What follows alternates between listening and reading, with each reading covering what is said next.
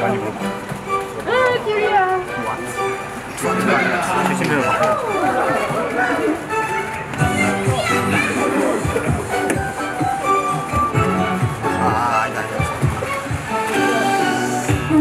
내가 왔다 갔다.